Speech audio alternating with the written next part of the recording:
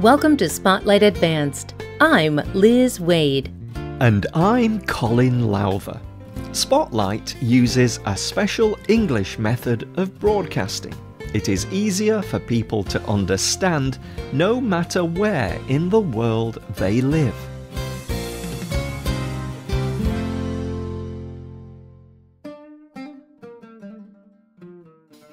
We begin today's spotlight with a story. It begins on a cold day in the country of Turkey. It was a cold winter day. A man wearing many heavy clothes noticed Nasreddin outside.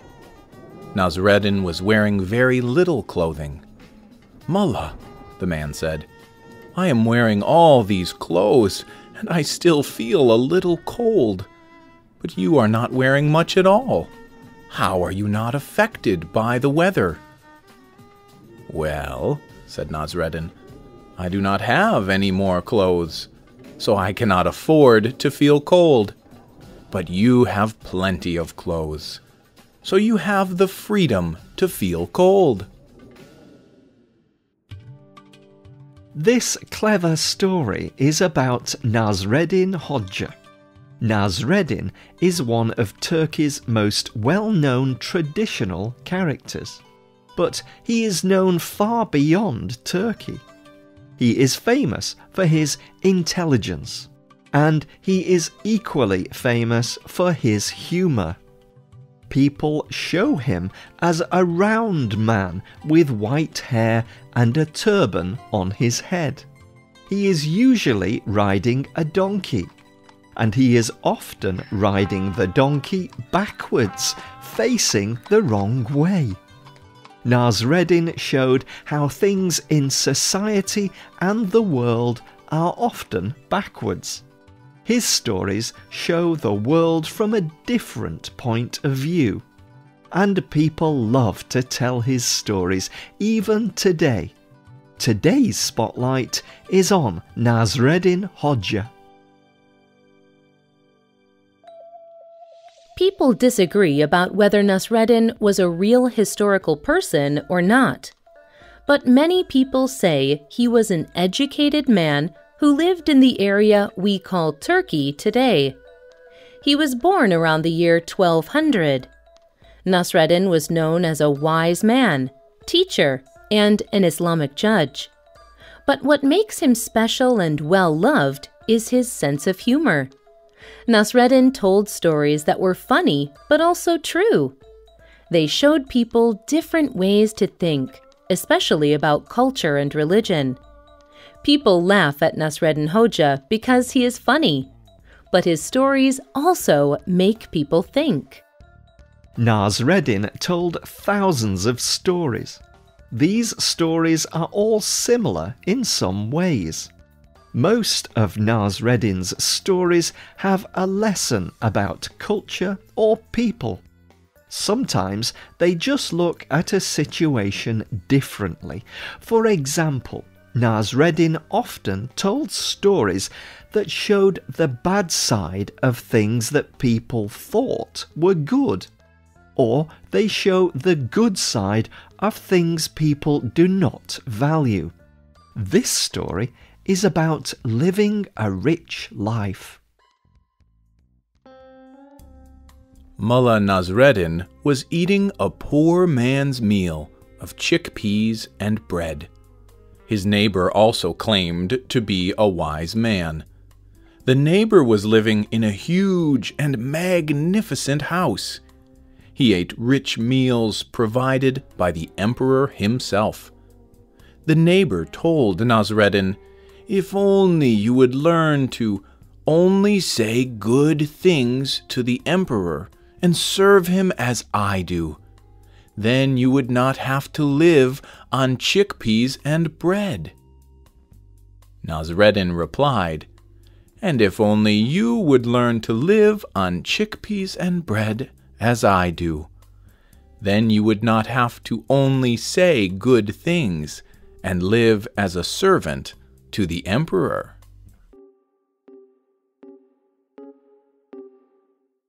Most of Nasreddin's stories also have a similar style. They begin with a setting. Then there is a conversation between Nasreddin and another person. Often someone asks Nasreddin a question. Then he answers it. Most of Nasreddin's stories are very short. Here is an example of how quickly Nasreddin shows a different view. Nasreddin sat on a river bank. Someone shouted to him from the opposite side, Hey, how do I get across? Nasreddin shouted back, You are across. Nasreddin continues to be an important symbol in Turkey. That is probably because many of Nasreddin's stories also have a real message about the world. His stories address real problems in culture. They look at how wealth affects people and society. Using stories is a way to teach but also make people laugh. The stories can encourage change without being threatening. Rich Heffron says Nasreddin is a good example of a holy fool. He writes in the National Catholic Reporter The holy fool, or the fool as wise soul, is a kind of person in many wisdom traditions. There are figures like this in the Russian Orthodox tradition, the Sufis of Islam, Zen Buddhism, Christianity, and the Hasidic movement of Judaism. Such fools make us laugh and make us confused. They are trickster figures. They're silly on purpose. They succeed in breaking through a layer of resistance or disbelief. Holy fools turn our spiritual traditions upside down and inside out. Jesus tells stories called parables that do the same thing. This way, we can more easily see the truth within them. The humble holy fool now has a place of honor in Turkey and the area around it. And his stories are for people of all kinds. Men, women, and children all enjoy listening to and telling his stories. Nasreddin's stories are widely known and retold. People have written them into hundreds of books. There are many pieces of art showing Nasreddin. There are statues of him all around the country. The city of Akşehir even holds an international Nasreddin Hodja festival every year. During the festival, people tell stories, celebrate, and even dress up like Nasreddin.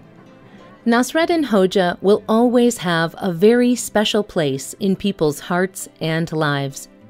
We finish today's Spotlight program with one more story from Nasreddin Hodja. The moon was shining late one night. A friend saw Nasreddin walking back and forth in the street in front of his house. He was bent over to the ground. What are you doing, teacher? said the friend. I have lost my keys and am looking for them, replied Nasreddin. The friend agreed to help look for the keys. They both continued to look on the ground. Finally, the friend asked, Where did you lose your keys? I lost them in the house, said Nasreddin, but there is more light out here.